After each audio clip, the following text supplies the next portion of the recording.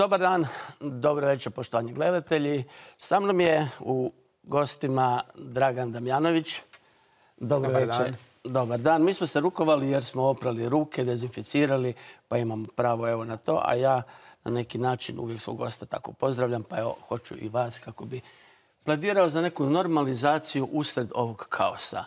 Širi krug je korona, uži krug je potres. Danas ćemo razgovarati o potresu u gradu Zagrebu, a e, profesor dr. e, Damjanović dolazi sa odsjeka za povijest umjetnosti Filozofskog fakulteta u Zagrebu i kad uzmemo u obzir što predajete, čime ste se bavili, što je vaša uža struka, naravno vaš doktorat i ukupni znanstveni rad i opus, možda nema pozvanije osobe Jasno, Nestorima svaka čast, ali hoću kazati u našoj generaciji, u ovom srednjem naraštaju od vas. Idemo odmah in media res. E, profesore, kad pogledamo, a vidjet ćemo i vaše snimke, vi ste odmah prvi dan izletili u grad, išli bilježiti sve to, jednostavno uspomenjivati e, posljedice potresa.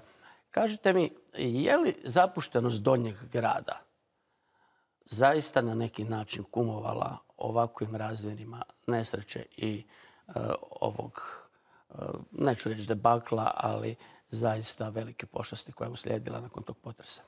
Pa sasvim sigurno jeste. Mislim, e, ne možemo reći da se ništa nije učinilo u Donjem gradu u zadnjih nekoliko desetljeća što se tiče obnove kako pojedinačnih građevina, tako i općenito urbane strukture. Međutim, mnogi objekti su zapravo još uvijek čekali obnovu, mnogi su bili u doista vrlo lošemu stanju i mislim da se ipak vidi da oni koji su bili u zadnje vrijeme sanirani, osobito njihova krovišta, njihova pročelja, da su pretrpjeli manja oštećenja 22.3 u odnosu na one koji zapravo od izgradnje nisu bitnije obnavljani, na njima nisu rađene nikakve, nikakvi veći zahvati, osobito ne zahvati recimo na nekakvoj strukturnoj sanaciji. Dakle, teza koju je izrekao gospodin gradonačelnik, koliko god bila bombastična i koja, eto, na neki način cilja na vlasnike, možda i nije pretjerana. Pa vlasnici pojedini, naravno, ne možemo generalizirati. Sigurno nisu, pa, tako je, da. Sigurno nisu pridonijeli ovoga, toj e, situaciji ukoliko su zapuštali objekt. Kod nas je, naime, čini mi se jedan od glavnih problema da se ide u nekakve partikularne obnove i u e, isključivo adaptacije koje su usmjerene na poboljšanje stanja vlastitoga nekakvog stambenog prostora ili prostora koji su ljudi već iznajmljivali i slično, a e, nije se dovoljno ulagalo u cjelinu objekta. Dakle, u ono što pripada zajednički svim e, stanarima. Meni se čini da će i nakon potresa e, to biti veliki problem jer sam siguran da neće biti svi spremni za nekakvo opće dobro, da se tako izrazim, svoje zgrade uložiti u bilo sanaciju dimnjaka, krovišta e, i sl. I to, to treba zakonski naprosto regulirati da moraju takve vrste adaptacija i obaviti, odnosno izvršiti, jer inače nam se može dogoditi da se još gora zapravo stvar, ako nas ponovno potres pogodi, dogodi. O toj parcijalnoj singularnoj obnovi bez dozvola ćemo nešto kasnije, ali e, moram vas odmah pitati.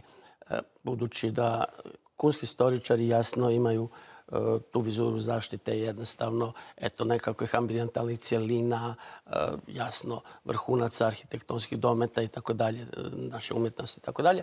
Ali s jedne strane su želje, s jedne strane je idealan scenarij, a s druge strane mogućnosti naših građana. Kako povjesničari umjetnosti puno putuju, vi se susrećete s vašim kolegama izvana. Postoji li neki model koji bi bio prihvatljiv ovome gradu i ovim građanima, a da eto ipak se te donjogradske i gornjogradske građevine i cjeline održavaju kako Bog zapovjeda, to jest da ne opterećuju potpuno vlasnike, a da sa druge strane one budu, mislim, solidnije e, građane i renovirane, jer Zagreb očito ima problema sa potresima.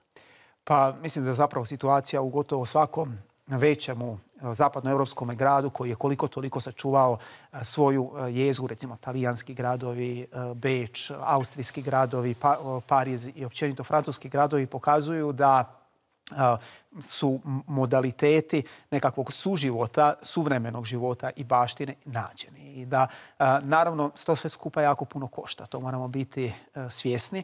I naravno da ne može si svatko priuštiti život u centru grada. Ne? To mislite na pričuve, recimo? pa pričuve, čak koliko sam čuo, ne znam da li je to točno ili ne, u Parizu, gledajte, ako vi ne možete održavati svoju zgradu, a živite u centru, ne, ne možete tamo niti živjeti, ne morate ne možete prodati. u Berlinu. Pa evo, da, dakle nije da takvih... Ja, da. Imam osobno iskustvo. Da, dakle, ne, takva politika postoji u drugim e, europskim gradovima. Sad sve e, ono zavisi što mi želimo. Želimo li e, i dalje imati zapravo jedan povijesni grad, jedan grad sa očuvanim ambijentima, sa očuvanim svojim identitetom. A što to znači, oprostite, u konsekvenciji sad socijalno? iseliti siromašne, one koje nemaju. Pazite, Donji grad je grad, mislim, ljudi koji su druga, treća generacija, akademskih građana, puno pravnika, profesora i tako dalje Ljudi nemaju naprosto, kad se uzmu obzir njihove mirovine, primanje i tako dalje, e, nemaju za obnovu jedne zgrade u onom obliku i, i, i u onom smislu u kojem bi trebalo. Pa naravno ne iseliti. Naravno, mi imamo drugčiju situaciju, općenito socijalnu u odnosu na zapadnu Europu, jer smo imali taj jedan e, diskontinuitet sa podržavljenjem imovine, odnosno sa e, predavanjem dijela imovine drugim vlasnicima i slično. E, međutim, ukoliko želimo imati sačuvani centar, ili ćemo biti spremni izdvojiti, ne znam, javni novac, državni novac za njegovo očuvanje, ili ćemo u suradnji sa vlasnicima izvršiti tu obnovu. Ne vidim koji je drugi modalitet. A naravno niko nije za to da se da vlasnici iseljuju, a da im se pritom ne daje nekakva ili zamjenska nekretnina ili ne znam, obeštećenje, pa trebamo biti i dalje socijalno svjesni. A dapače, mislim da je i nužno sačuvati u centru grada i u svim dijelovima Zagreba tu socijalnu stratifikaciju, odnosno tu nekakvu raznolikost slojeva koji, koji žive, jer to je ono što i čini Zagreb Zagrebom. Dakle, da mi nemamo nekakva geta i ne bismo ih trebali niti u budućnosti stvarati. Vi tvrdite da u posljednjih stotinu godina problem Zagreba jest i ta obnova bez dozvola gradskih vlasti ma ne samo obnova, već i izgradnja. Dakle, ljudi misle da je to fenomen koji se javlja, ne znam, od 60-ih, možda netko misli da je to malo stariji, ali u osnovi javljao se on već u 19. stoljeću. Dakle, da ljudi jednostavno pokušavaju malo izvrgnuti zakon i dograditi si bilo nešto u dvorištu, bilo nešto na zgradi, da imaju dodatni poslovni ili stambeni prostor. Međutim, u 19. stoljeću nekako su se međusobno građani, recimo to tako, kontrolirali, prijavljivali i takve su prakse zapravo bile rijetke. Dakle, ako ste vi nešto na Zrinjevcu, ja znam dosta takvih primjera zapravo iz ovoga novina ili iz uh, arhivskih spisa, ako ste vi nešto dogradili, vas bi susjed odmah prijavio. I vi ste morali ili platiti kaznu da, ili, da bi dobili dozvolu za tu dogradnju ili ste morali slušiti što ste dogradili. Međutim, onda 20. godina osobito e, se e, počinje E, javljati malo popuštanje te gradske politike u odnosu na bespravnu gradnju. E, I to ne samo u rubnim dijelovima grada. Tamo u rubnim dijelovima grada kao što je tad bila Trešnjevka, Trnje, ne znam, naselja uz e, Medvednicu, tamo je bujala naravno ova nelegalna gradnja, međutim nelegalni su se objekti znali javljati u samome centru. Jedan zgodan primjer predstavlja izgradnja hotela Dubrovnik, od tada Milinov, Dakle, investitor Svetozar Milinov si je odlučio podići na zgradi toranj koji dan danas stoji, a za koji nije prvotno imao dozvolu jer je htio na tornju postaviti reklamu tako da se sa kolodvora vidi da je hotel e, u blizini, da je u centru grada, da na neki način usmjeruje e, ljude e, sa željezničke stanice koja je bila glavni ulaz u grad u to, u to vrijeme do njihovog mjesta gdje će noćiti. Ne? I ljudi su ga isto tužili i on je dobio na kraju dozvolu, međutim počeo je graditi znači taj toranj bez građevne dozvole. Dakle, ta je praksa postojala i prije, nakon drugog svjetskog rata je ona bujala do, kako smo mi svi svjesni toga, do nevjerojatnih razmjera u svim dijelovima grada. I sad se javlja taj problem da su zapravo e, te dijelom nelegalno izvedene nekretnine legalizirane u zadnjih nekoliko godina sa ovom politikom. Pritom ne znam koliko se vodilo računa, ne mogu to, ja nisam arhitekt, nisam statičar, ne znam koliko se vodilo računa da su te sve dogradnje izvedene sukladno nekakvim, recimo, protupotresnim mjerama. Naravno, ne znači niti da su sve te novogradnje bile nužno loše izvedene. Dakle, dio vlasnika sasvim sigurno je uložio znatan novac i pazio da su te dogradnje, koliko god one bile nelegalne, ipak kvalitetno izvedene, međutim tu je bilo svega. I naravno da su te dogradnje, da, da je to ulaganje u pojedine segmente građevine, a ne u nekakvu sanaciju građevine kao cijelinu, doprinijele većim oštećenjima u potresu. U, Rekao sam da ste vi odmah po potresu, drugi dan ili prvi dan, prvi dan, točno, prvi dan izvesno. Onda ste zaista priseban čovjek. E, izletili van sa fotoaparatom i snimili e, situaciju. E, kakva je, kako biste rekli, in situ situacija donjeg i gornjeg grada u najširem kadru, pa ćemo poslije krenuti u analizu pojedinačnih primjera.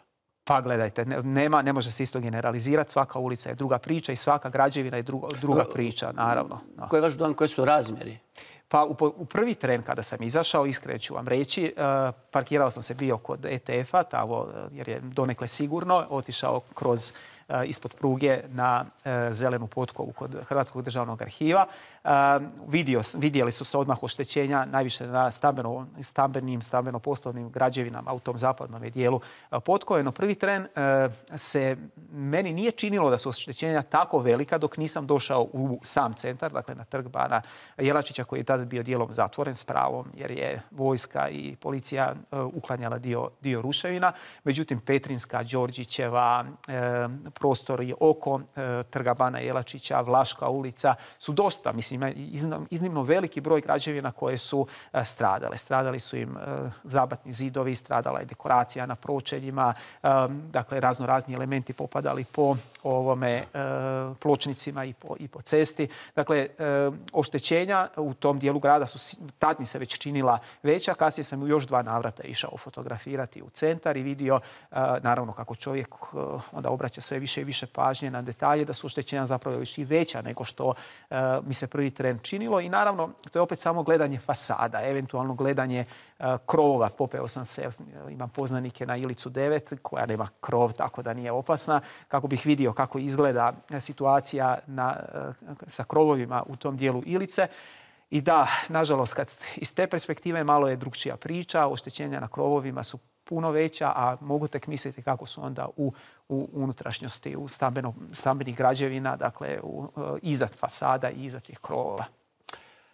Zagreb nema Eiffelov toranja, ali Zagreb ima ambijente, specifične ambijente. Hoću kazati, kad turisti dolaze u ovaj grad, oni uživaju u Tkalčićevoj, u situaciji jednog ambijenta koji po sebi možda nema niti jednu E, spektakularnu građevinu za koju bismo kazali da arhitektonski der nije kri ili e, eto, ostavština koju treba i tekako pomno paziti, naravno, ali je cijeli ambijent i tekako, rekli bi njemci, gemütlich. E sad, recite vi meni, je li moguće e, takav Zagreb u cijelini sačuvati, čuvajući njegov identitet kakav je postojao prije potresa? Pa ja mislim da je moguće i da je potrebno prvo da doista Zagreb nema neku i sad arhitektonski objekt za koji možemo reći da je E, nezaobilaziv, recimo to tako, u povijesti svjetske arhitekture. Ja ne znam niti jedan. Možda griješe, možda će se netko od naših živućih arhitekata naći uvrijeđenim. Međutim, ja mislim da ipak nema. Ali imao doista e, fantastično sačuvan taj ambijent. Mi smo imali sreću da Zagreb nije bio žestoko bombardiran ni u drugom svjetskom ratu, da je nakon drugog svjetskog rata, zahvaljujući konzervatorima, zahvaljujući politici zaštite, je ostao dobro sačuvan kako ovaj, recimo, barokno srednjovjekovni dio na Kaptolu i Gradecu, tako i ovaj iz 19 stoljeća i iz 20. stoljeća u e, Donjem gradu.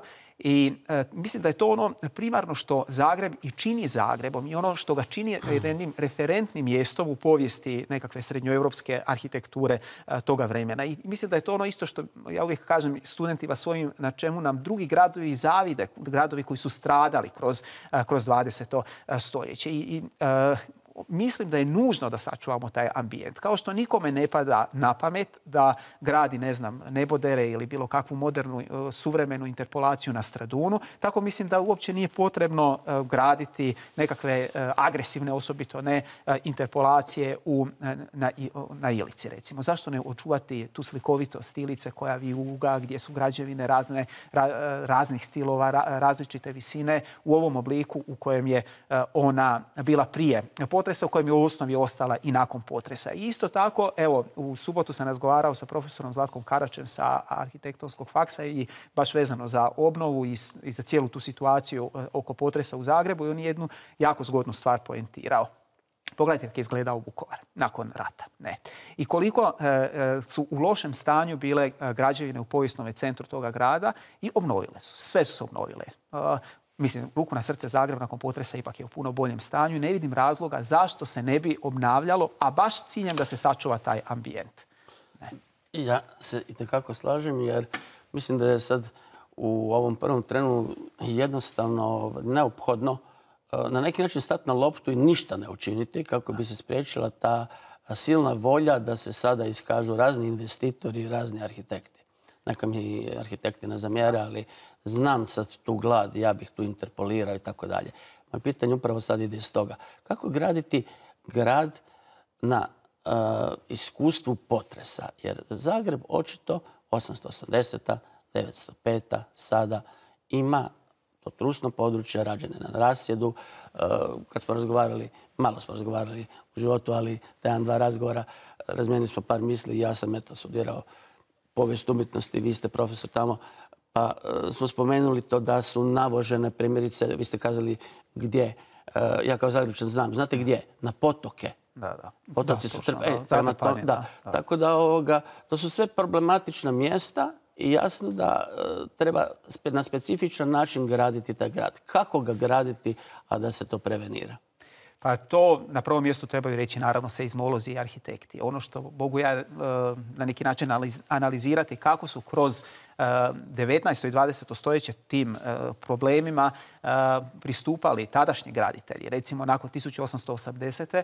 E, se shvatilo da u Zagrebu, ili bar tad se tako smatralo, se premalo željeza ugrađuje u strukture, recimo u stubišta, u ziđe kako bi se, dakle te željezne zatege, kako bi se što bolje i što čvršće armirala cijela, cijela struktura. I znači već tad su uvedene stanovite mjere, stanovite e, recimo to tako, stanoviti standardi gradnje koji su išli za tim da se minimalizira šteta nakon sljedećega potresa.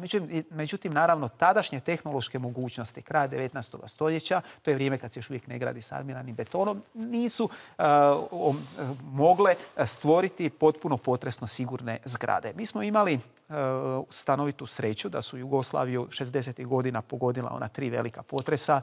Skoplje, Makarsko primorje, Banja Luka. o tome se gradili neboderi, razne zgrade tako. Da, uveli su naprosto standarde u e, građevinarstvo koji e, su koliko toliko trebali amortizirati štete od, od potresa i mi koji živimo po Novome Zagrebu i u tim zapravo četvrtima koji su izgrađeni od 60-ih koje nisu naravno potpuno sigurne, ništa ne može biti do kraja sigurno od potresa, ipak mislim, ne mislim nego siguran sam da smo bolje prošli u odnosu na sam centar. Dakle, vi u centru ne možete do kraja e, poništiti štetu od nekakvog budućeg potresa.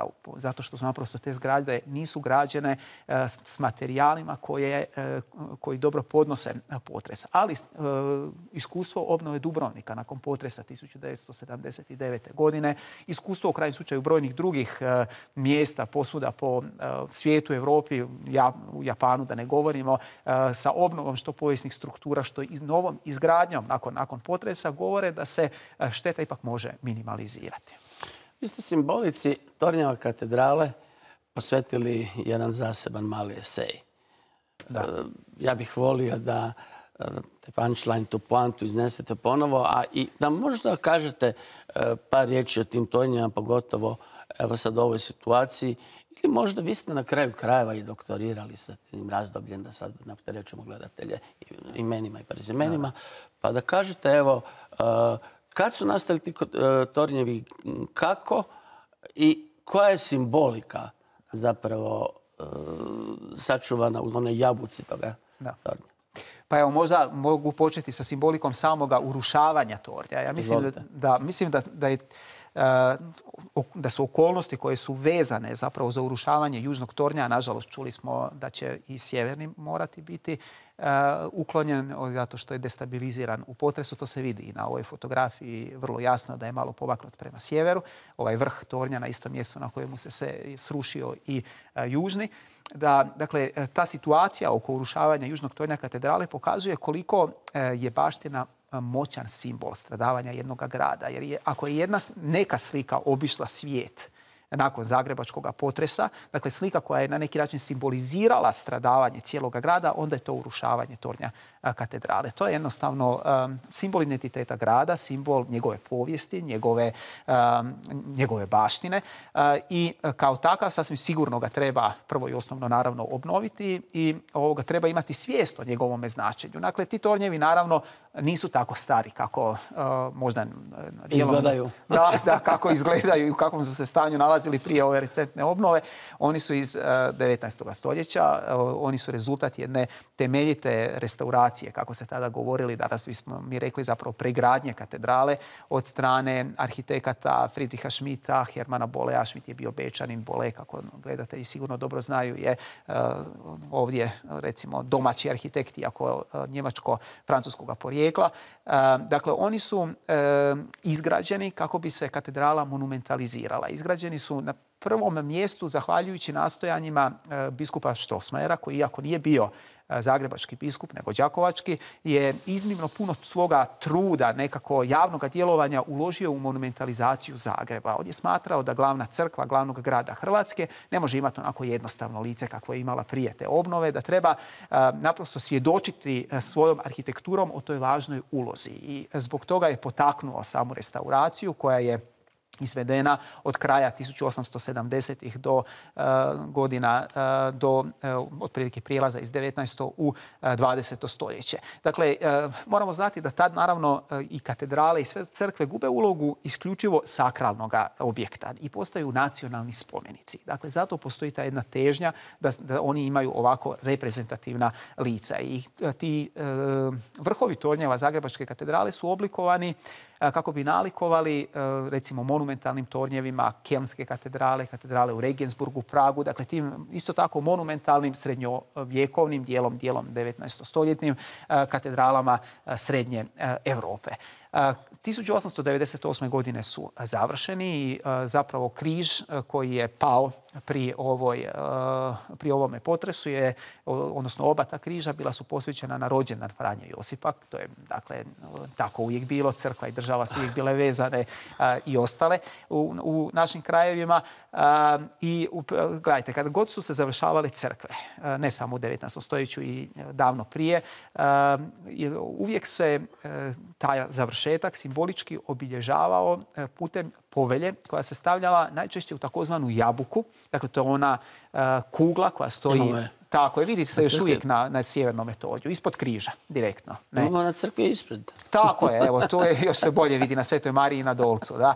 Dakle, to je ta, mi to kažemo jabuka, dakle kugla koja stoji ispod križa i tu ona vam služi kao neka vrsta vremenske kapsule. Dakle, tu se stavlja recimo novčići, novčići iz vremena kada je završena restauracija, onda nekada križevi, neke male skulpturice i gotovo uvijek povelja koja, odnosno spomenica koja govori E, tko je bio glavni u e, izvedbi e, ili restauraciji svejedno crkve. Dakle, tko je bio voditelj gradnje, tko je bio biskup koji je izveo taj poduhvat, tko je bio vladar, u našim slučajevima ban i slično. Dakle, ti nekakvi najosnovniji podaci. I takva je poveda bila stajala baš u južnom tornju, odnosno u, u vrhu. Jabuci. Tako je, u Jabuci južnog tornja, toga koji je nažalost sada... Ona je sačuvana. Ona je ostala sačuvana ili 2013. kada je katedrala obnavljana, tada su skele bile, ne znam da li se sjećate vi igrate i sve do vrha, naravno. Ona je tada izvađena iz te jabuke. Nažalost, često se dogodi, i u tom slučaju se isto dogodilo, da je voda prodrla u jednu kao bočicu unutar koje je povelja stajala i nagrizla ju je. Tako da nije bila potpuno čitljiva. Međutim, u Hrvatskom državnom arhivu su restaurirali. restaurirali ju i ponovno je izravnali. I onda se ispostavilo da u njoj stoji jedna poruka, dakle pisca toga, te, povelje, da se on nada kada, da kada povelja ponovno izađe na svjetlo dana, da će Hrvati biti slobodan i složan i sretan narod. Kako su bili optimistični naši preci. Em su se mogli penjati bez svih ovih naprava do tih visina i toliko su nas precijenili. Ali zapravo u vrijeme solidarnosti mi jesmo složni. Pa točno, da u krizi. Pardon, u vrijeme mi, jesmo solidarni, oprostite. E, I to se pokazuje i za vrijeme nekakvih povodanja, za vrijeme eto, potresa. Čak i, naravno, kada se desi nešto i u inozemstvu Hrvati onda dosta solidarno reagiraju. Pa korone, evo vidite isto, ljudi se pomažu ipak. Pa kako da ne, kako da ne. Kažite mi, kako je tada u ono vrijeme, 880. tekla obnova? To je vrlo zanimljivo zbog toga što je tadašnja štampa. Tisak je pisao, nakon nekog vremena kad je prvi šok e, prošao, pa ovo uopće nije loše. Toliko sredstava stiglo, takva je aktivnost, e, takav je građevni zamah, znači Zagreb izgleda fantastično. Pa da, prvi tren se činilo da, je, da su oštećenja golema. Dakle, slično kao zapravo i taj valjda prvi šok koji smo svi preživjeli. Po slikama, izgledalo da katedrala je bila rascijepljena, pola urušila se da je prema kripti. Tako? Pa te slike nisu sve eh, baš jako, eh, recimo, uvjerljiv izvor informacija. Fotografije, znači, čak i tad postoji fake news ekstra, e, ima puno fake newsa i zapravo e, na kraju se u zagrebačkom tisku javlja ta jedna vrsta ironičnog e, odnosa prema svim tim silnim ilustracijama koje su govorile o zagrebačkom potresu 880. koji su u stranome tisku publicirane. Vi imate recimo ilustraciju gdje dakle panorama Zagreba sa Save i Savom plove brodove. To je bilo nemoguće, bilo u tom trenutku. I onda je rekao recimo Šenoa kada je opisivao potres... mi prevaranti. A ne, to nije, to nije stvar naša našeg, da, da, nego e, stranoga, zapravo stranog načina na koji, odnosno stranci su interpretirali e, Zagreb, a da ga uopće nisu e, vidjeli. I onda je Šenova komentirao, kaže, to su valjda oni brodovi koji u Šekspirovim dramama dolaze do obala Češke. Jer će, valjda je Šekspir negdje spomenuo nekakve brodove koji idu u Češku, a da nije znao, naravno, geografiju te zemlje. Isto imali ste u talijanskim novinama, recimo, vijesti da su dva grada u Hrvatskoj potpuno uništena. Agram i Zagabrija. Da, zamislite. Dakle, Čitao sam. Da, da, isti grad zapravo, a nije niti jedan bio u potpunosti uništen, e, nego e, ljudi nisu poznavali geografiju, naravno nije bilo interneta, nije bilo tako... Ali možda to nije greška. Možda sam mislila na... E, na ozbiljno, možda sam mislila na staru jezgru, gradec Kaptol, ovo što čini starodrevni Agram i za Gabriju kao nekako veći Novi grad. Da. Ali to nije važno. Kako se gradilo u to vrijeme? Tada zaista kreće zamah. Tako je. Na kraju se zapravo ispostavilo prvo da nisu niti prevelike štete. Drugo, da je potres bio e, odigrao pozitivnu ulogu u, u osnovi u gospodarskom i urbanom razvitku Zagreba. Zašto? Zato što je e, bilo potrebno uložiti velike, velika sredstva u obnovi grada. Procjenjivalo se da su ukupni recimo troškovi obnove oko 3 milijuna, više od 3 milijuna e, forinti. Sad to je teško predočiti današnjim novcima, ali riječ je o ogromnim, ogromnim sredstvima. Dio tog novca je dobiven od e, Beča i Pešta, ali vrlo malo. To se isto danas malo možda mitologizira da su nam ne znam koliko pomogli izvana. Jedan velik novac je uložila i Hrvatska tada zemaljska vlada i naravno ljudi sami. Dakle, iz svojih čarapa, banaka ili ne znam, madraca su izvlačili novac i gledajte, od tog, tih sredstava se e, nekako pokrenula ekonomija. Jer Zagreb je e, do, do samoga potresa još uvijek imao problema kao i cijela Europa sa velikom gospodarskom krizom i tad su postojale kao što i danas postoje gospodarske krize i konkretno jedna je započela 1873. i do te godine, dakle kada je 9.11.880. E, pogodio Zagreb potres, ona još uvijek nije bila do kraja zacijelila. I sad, znači, vi imate jednu e, situaciju gdje naprosto novac morate uložiti da biste mogli uopće građevine koristiti i započinje, danas bismo mi rekli, investicijski ciklus koji onda zapravo doista označava jedan početak nagloga uspona grada. I od 880. do 914. Zagreb je narastao dva i po puta. Sa od 30 tisuća otprilike ljudi na više od 80 tisuća koliko je imao po posljednjem popisu iz uh, vremena Austro-Ugarske iz 1911. godine. I to je stvarno doba kada je gotovo u cijelosti formiran uh, Donji grad, kada je monumentaliziran i ovaj stariji dio uh, Zagreba, dakle kada je stvarno stvoreno ono što mi danas doživljavamo kao nekakav recimo identitet grada. Kako je stanje sakralnih građevina? Spomenuli smo crkve. U Donjem gradu je primjerice Palmotića potpuno urešen svod, ali da ne radim vaš posao, dajte nam, molim vas, vi kažete. Da, nažalost, crkve su dosta stradale i tak je bilo i u potresu 1880. Evo, gledajte, one su starije građevine, većina njih, ne sve. I, dakle, nisu građene, naravno, sa nekakvim, sa mišlju da podnose veće potrese, odnosno nisu niti mogle biti, obzirom na onodobnu tehnologiju. Sve su stradale u većoj ili manjoj mjeri. Najviše, evo vidimo sada fotografiju crkve Srca Isusova u Pavotićevoj ulici gdje, se, gdje su se urušila prva dva traveja, svodovi iznad prva dva traveja. Slična je situacija u Donjem gradu, iako ne tako velika, i sa pravoslavnom crkvom, gdje su isto freske popadale sa, sa svodova. Da, izvana se ne bi reklo. Ništa. Izvana ne izgledaju zapravo ni jedna ni druga pretjerano oštećene. I mislim da je to, opet nisam arhitekt, ali prepostavljam da, da je taj prednji dio crkve, uz, uh, odnosno obaju, uh, obiju crkava uz zvonike, jače oštećen zato što su zvonici vibrirali i povukli te svodove koji su onda pali. Mislim, kažem, to trebaju arhitekti, statičari i ostali uh, provjeriti kako, zašto i kako, ali je evidentno da su na zapadnoj strani više oštećeni. Katarina i Marko?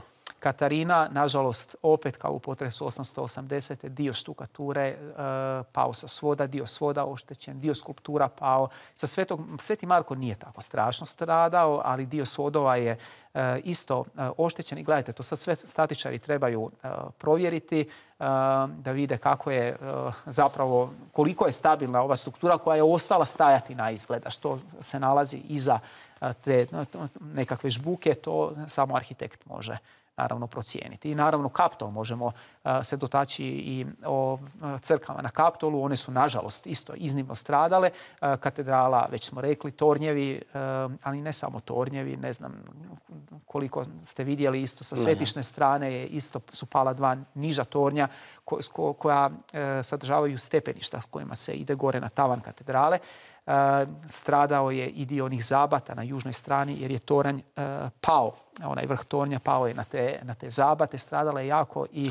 Nadbiskupski. Tako je, nadbiskupski dvor. Nažalost, to je i ponovno kao i u potresu 880. Valjda zbog toga što se nalazi na padini, ne znam, teško mi je reći, ali njega je M oštetio toranj katedrale, M dimnjaci koji su pali, razbili svodove, M su Ti popucali... dimnjaci su inače svugdje i na sakralnim i na da. svjetovnim građevinama. Velika opasnost. To je da. ogromna težina, stalno, čak, čak su alpinisti ko, da.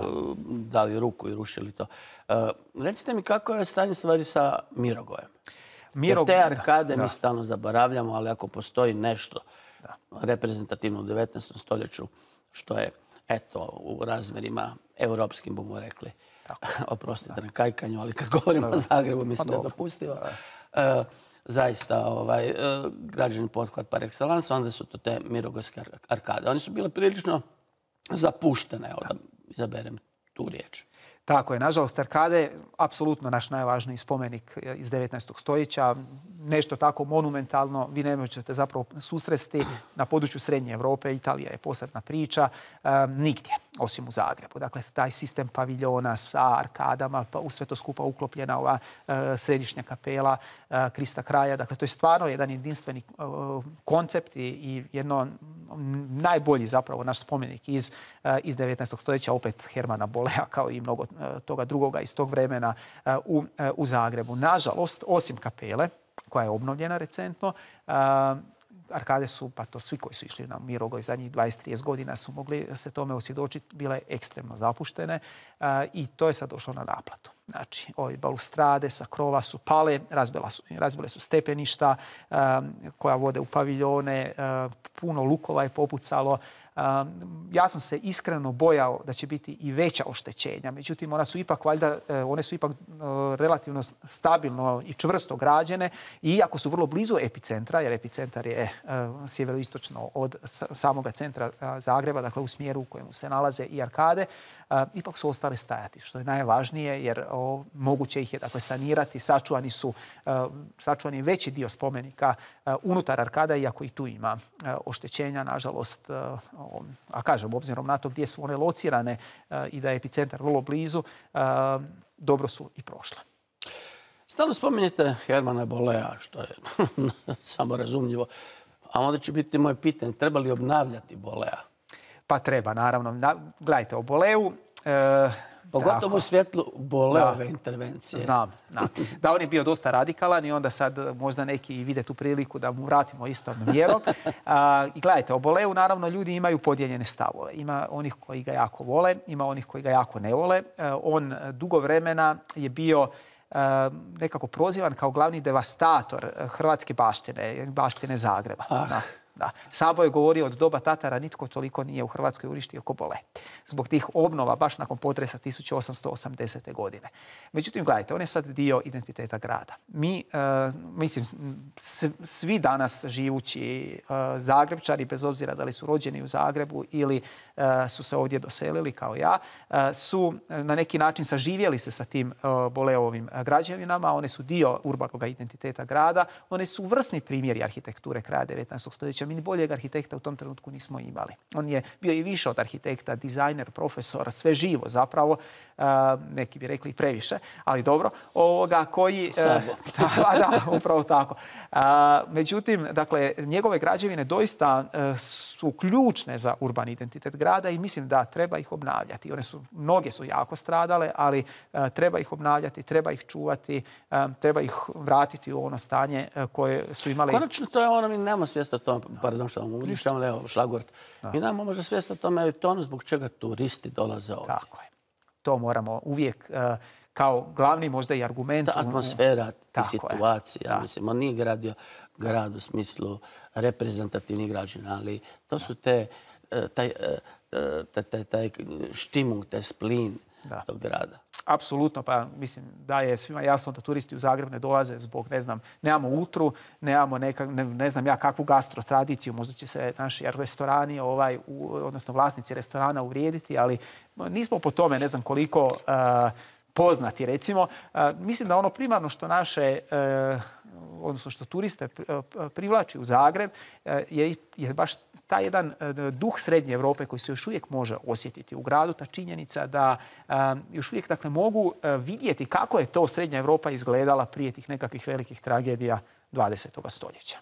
A među tim građevinama koje dolaze vidjeti su i. Pa ovo je sjajno, sad imamo i slogan, ne samo dakle Mediteran kakav je nekoć bio. Srednja Europa. Mitla Europa kako je nekoć bila. da. Rekli ste, još ćemo sad napraviti stariju i ljepšu. Da. šalu na stranu, kakvo je stanje svjetovnih e, dakle, objekata stambene i javne arhitekture? Tu je sad bilancu još uvijek teško e, nekakvu definitivnu dati. Da, pa da, da. Jer još uvijek nije, e, zapravo nisu obavljeni uviđaji. Ali dobro damo lačna stvar. Da. Kako je stanje onda onih, recimo, objekata za koje biste vi kao profesor i ja, kad biste me recimo vodili okolo, ispitivali koliko zapravo znam o svom vlastitom gradu, ovaj, propitivali kao Lubinski, recimo etnografski muzej, da sad ne nabrajam. Da. Sve ono što spada u te građevine koje moramo sačuvati. Pa javne građevine, tu isto ima vrlo različitih zapravo situacija. E, dakle, Muzej za umjetnost i obrt je stradao jako, to smo svi vidjeli. To je zapravo e, je među prvim fotografijama koje su obišle isto tako i Hrvatsku i svijet nakon potresa su fotografije razrušenih e, spremišta Muzeja za umjetnost i obrat. Međutim, čini mi se da ovo krilo zgrade prema ulici nije tako loše prošlo. Dakle, ono koje zapravo svi mi vidimo, da je ono relativno dobro podnijelo sam potres, no ovaj dvorišna krila su jako stradala. Etnografski muzej srećom je upravo bio obnovljen. Njegova obnova je završena, čini mi se, negdje u drugom mjesecu ili nekako tako je bilo otkrivanje zgrade, da se tako, da se tako izrazim. tako da e, nekakva veća oštećenja se na pročenjima ne vide, ali čuo sam od kolegica koje tamo rade da ima oštećenja na fundusu, na stubištu i slično. Slično je i sa zgradom e, Hrvatskog državnog arhiva Lubinski, kojeg ste spomenuli. To je da, car NSK, naravno, da. Ovoga, to je remek dijelo naše secesije, apsolutno, zapravo ne samo naše, nego opet srednjo, srednjoevropske, to je stvarno isto jedno ovako referentno mjesto povijesti srednjoevropske secesijske arhitekture. Ono što je u slučaju te zgrade sreća jeste da je ona dijelom građena s armiranom betonskom konstrukcijom. Jedna od najstarijih naših zgrada e, građena s takvom konstrukcijom uoči Prvog svjetskog rata. Tako da nisu oštećenja velika. Fundus, dakle, ovi arhivski fondovi su sačuvani. Međutim, stradala je kupola iznad središnje čitaonice. Da. I ona se mora sanirati prije nego što se bude mogla koristiti. Ne? Sama čitaonica je sačuvana koja je mislim, tko nije bio treba otići vidjeti, to stvarno remek dijelo naše secesije, ne? Ali, e, dakle, oni golemi lusteri, oni vitraji na e, stropnim prozorima su ostali stajati. Međutim, nažalost, kupola je destabilizirana izvana i morat će e, biti sanirana sad u narednih nekoliko mjeseci. Spomenuli ste prije balustrade, zidove i tako dalje. Da li bismo sa losom mogli kazati da je eto ornament ipak zločinac. Ili, ili bismo, vidjeli smo dakle rušenje tih ornamenata. Jesu li ornamenti krivi, dakle sva ta sitna plastika i tako dalje, u kojoj mjeri su krivi i što sa njima činiti? Ja sad ne bih volio da dođe do neke purifikacije. Pa niti ja. Mislim, Loz da je došao sad u Zagreb nakon potresa, on bi, on bi rekao, evo vidite, što vam ja govorim, šta će vam ta dekoracija i sve skupa. Međutim, gledajte, ornamenti su opasni i padaju sa zgrada kad se ne održavaju. Ne može se do kraja to spriječiti. Naravno, vi možete ne znam kolike i novce uložiti i slično. Ako iznimno jak potres pogodi grad, naravno da će doći do stanovitoga urušavanja pročelja i ornamenata sa njih, osobito skulptura koje stoje na onim balustradama na, na, na vrhovima pročelja. Međutim, opet e, zgrade koje su recentno obnovljene e, ipak su bolje. E, njihova pročelja podnijela ovaj potres i manje je te dekoracije palo u odnosu na one zapuštene zgrade, iako naravno nema pravila, vidio sam da je sa Palačev Cani u Berislavićevoj ulici pao cijeli jedan ovoga komad, ogroman zapravo krovnog kao zida, a taj je nedavno palača obnovljena. Dakle, nema tu nekakvih pravila, ali načelno da, ornament ne, mora biti e, zločinačkog karaktera ukoliko ga se e, održava. Ne? I mislim Šalimo se, profesor, ja, to je naziv jedne knjige. Tako je, da. E, spomenutog losa. A da vas pitam o jednom drugom imenu koje cijelo vrijeme nekim čudom ne spominjemo, a nemoguće je zapravo pričati o Zagrebu. Pa ću ovako formulirati. Kako obnavljati crkve a izbjeći greške kršnjavog. Da. Pa evo, Iso Kršnjavi, to je za one možda koje, koji ne pa znaju... Pa da, nisam prije spomenuo. da, da, da. On nezaobilaziv je isto za našu povijest umjetnosti i povijest jednako kulture. Jednako kontroverzan, jednako ima... Da. Mada bez kršnjavog ne bi bilo gotovo ničega. Ne, on, on, je fascinantna osoba. Ja isto svojim studentima uvijek govorim, vidite, on je dokaz da i u uh, sustavu koji je bio, znate, prilično trul u Hrvatskoj krajem 19. stoljeća koji se jako malo toga moglo... Dobro, ništa se ne mijenja. Da, imali ste, ja sam nalazio po arhivskim e, isto kutijama, e, sudske procese koji su trajali doslovno stotinu godina. Dakle, niti ta Austro-Ugarska nije bila savršena. Nemojmo se e, zavaravati. U tom dakle, sustavu koji je bio prilično e, truo i nekako teško je bilo nešto u njemu e, napraviti, dolazi jedan čovjek na čelo tadašnjeg ministarstva kulture, prosvjete, znanosti, vjera, sve je to bilo pod jednom kaplom, zvao se odjela za bogoštolje i nastavu, ne? Dakle Iso Kršnjavi, koji onda u četiri i pet godina čudo radi. Zašto? Zato što ima viziju, zato što je odlučan u borbi protiv korupcije, zato što je odlučan izboriti se za e, svoje projekte. E, on je, međutim, bio čovjek svog vremena. Čovjek koji je imao e, estetske nazore kraja 19. stoljeća i, i gradio je i obnavljao sukladno tim estetskim nazorima kasnijim povjesničarima umjetnosti, kasnijim recimo i arhitektima i ne znam povjesničarima kulture ako hoćete, nisu se e, i ne sviđaju se ni dan danas svi ti zahvati Kršnjavoga. Dakle i Kršnjav i Bole i Strossmayer e, i Franjo Rački, e, sve su to bili ljudi kraja 19. stoljeća koji su htjeli obnavljanjem dakle tih sakralnih građevina i ne samo sakralnih javnih grada u cjelini zapravo ih prilagoditi tim tom, tom toj estetici kraja 19 19. stoljeća, a na uštrb njihove nekakve povijesne slojevitosti. Zato su izbacivali iz njih sve što god, su, eh, što god im se nije svidjelo. Ja zapravo ono što bih htio da mi iz ovoga potresa ne izađemo, na, odnosno da ne, ne krenemo istom tom politikom. Mi sad imamo iskustvo da to nije baš jako dobro. Dakle, Kršnjavi je puno toga dobroga nama ostavio, ali su sigurno učinjene neke greške. I nakon toga potresa 880. odnosno u obnovi izgradnji Zagreba krajem 19. stoljeća. Koje bismo mogli počiniti? Koje greške? Pa pretjerana purifikacija i pretjerana nova izgradnja a da se izgubi e, ambijent. Dakle, e, nesumnjivo je da je recimo pristup restauraciji Franjevačke crkve ili katedrale nakon potresa 1880. bio preradikalan. Doduše, pitanje je kako bi katedrala podnijela ovaj potres da, da Boleju nije tako temeljito građevinski sanirao. Dakle, on je uklonio gotovo sve postojeće svodove u ovom svetišnom dijelu crkve, velike dijelove gornjih razina zidova kako bi ih u potpunosti sanirao, ja bih rekao, ili mi bismo općenito mogli reći danas. Međutim, ovoga, ono što je sigurno bilo pogrešno ili što se nama, povizničarima umjetnosti, ni danas do kraja ne sviđa, jeste ta činjenica da se išlo u pretjerano čišćenje tih sakralnih prostora od svega onoga što su stoljeća nanijela u njih. Jer crkve su, gledajte, oni su bili ropotarnice povijesti, možemo reći. Tamo nije bilo samo oltara, to su bile klupe, to su bili grobnice. To, sve što god e, je zapravo važno stvarano u Zagrebu kroz sva ta renesansna barokna stoljeća, to, se, to je stvarano... Taložilo. tako je, taložilo. I oni su to purificirali. Ne. I sad mene je malo strah da se ponovno ne e, pristupi preradikalno takvoj obnovi grada, bez obzira na to da li je riječ o crkvama ili... A vidite, već su vam počeli prigovarati, ne mislim samo vama, nego struci, da, struka želi sačuvati sve na uštrb razvoja. Što bi to uopće značilo?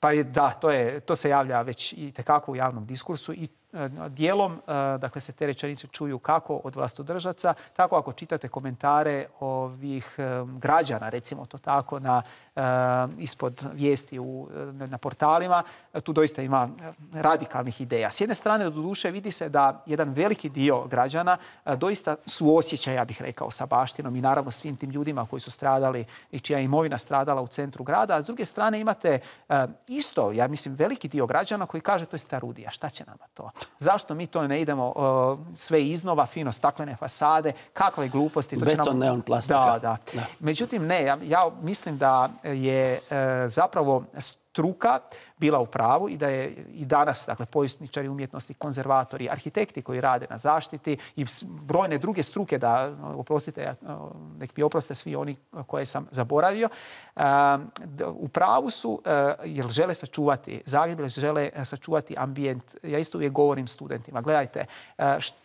gdje bi ljudi radili u Zagrebu nakon ove sve deindustrializacije da ne rade recimo u turizmu. Jedan dio, veliki dio Zagrebčana je našao svoj kruh u tom turizmu. Turizam se bazira na baštini. Dakle, svi ti vodiči, svi ti iznajmljivači prostora žive od te baštine. A nažalost, mislim, nažalost, tako je. U baštinu treba nažalost, uložiti. Pa mislim, Venecija, što nažalost, nema veze. Da. Ne, mislim, nažalost, u smislu da novac... Ne, ne, ne, ne ja vama, nego onima koje vama prebacuju. A recite mi, e, E, društvo povjesničara umjetnosti Hrvatske je e, dalo stanovite smjernice obnove. E, u kom smislu možemo sad recimo sažeti te smjernice pa da našim gledateljima što jasnije bude, to je ipak struka, govo struke, struka lokuta, iako ovdje nije kao za finita, tek je rasprava počela, ali što struka želi? Pa ovako, struka se odmah uključila, ja bih rekao, u sanaciju, obnovu, kako god hoćete, pristup obnovi e, Zagreba nakon potresa. Društvo na čelu sa e, profesorom Zvonkom Makovićem vrlo je aktivno, zapravo i važan je arbitar e, zbivanja. Da, njegova je uloga, moramo to reći, u ovom trenutku od neprocjenjivog značaja. On je zaista odmah reagirao i tako je i dalje. mnoge. Da. Upravo ove, danas je, čini mi se, otišlo pismo na vladu e, premijeru za jedan sastanak e, od strane društva Instituta za povijest umjetnosti, društva arhitekata Zagreba i brojnih drugih organizacija, isto neka mi oproste što ih neću sve e, spomenuti, kako bi se što bolje formulirao ovaj zakon o obnovi grada, da ga tako ukratko nazovemo. Jer to je ono, dakle, ono na što primarno društvo upozorava, da u taj u tom zakonu jasno mora biti definirano da obnovu ne vodi samo Ministarstvo graditeljstva, nego i Ministarstvo kulture. Jer naravno obnavljaju se obiteljske kuće nastale od 50. 60. godina na ovamo u tom prstenu naselja oko Zagreba. Međutim, i to može voditi Ministarstvo graditeljstva. Međutim,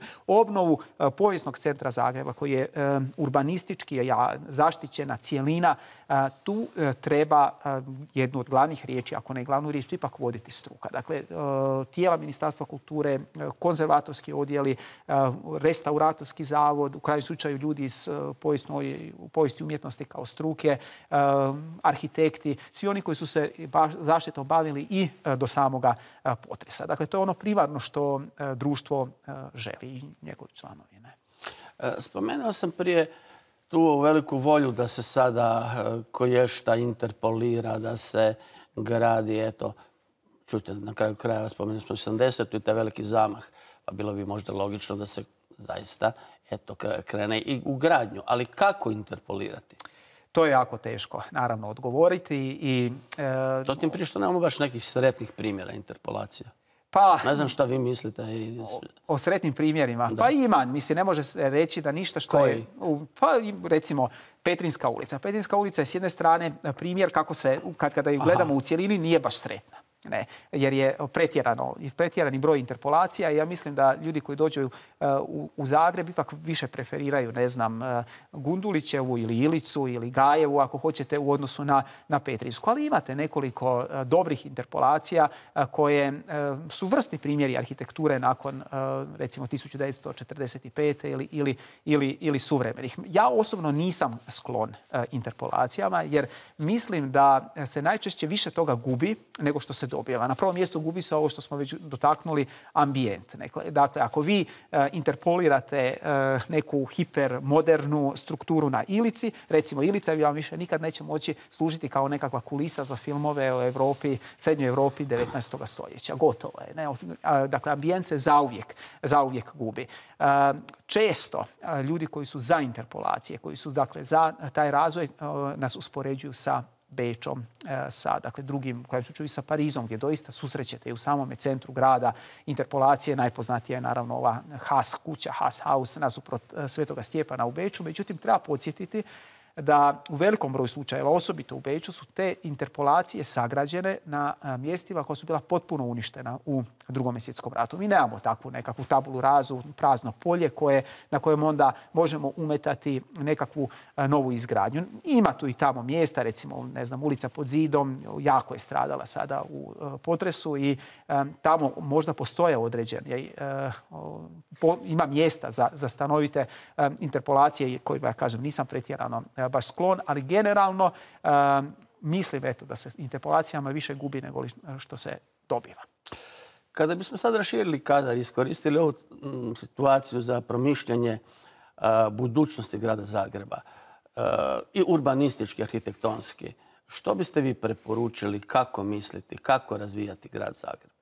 pa razvijati sa mišlju o čuvanju baštine. Dakle, Zagreb ima tu stvarno jedinstvenu situaciju da e, se razvijao, recimo to tako, slojevito, odnosno da ima relativno e, sačuvane e, četvrti iz pojedinih razdoblja. Vi imate dakle taj nekakav uvjetno govoreći barokno srednjovjekovni gornji grad i Kaptor sa naravno interpolacijama isto iz kasnijih vremena, ali relativno malim brojem. Onda imate središnji dio donjeg grada koji je uglavnom iz druge polovine 19. iz početka 20. stoljeća. Onda imate ovaj istočni dio donjega grada koji je recimo sagrađen 20. 30. godina. Onda imate E, potez oko Vukovarske iz 50-ih. Dakle, možete pratiti cijelu povijest arhitekture evropske, hrvatske, e, kroz zapravo slojeve Zagreba. Dakle, mislim da se ti slojevi trebaju e, poštovati, da nisam protiv nove gradnje, ali trebamo paziti gdje dodajemo te strukture kako ne bismo naprosto upropastili te ambijente koje smo, koje smo naslijedili. Prostora ima dovoljno.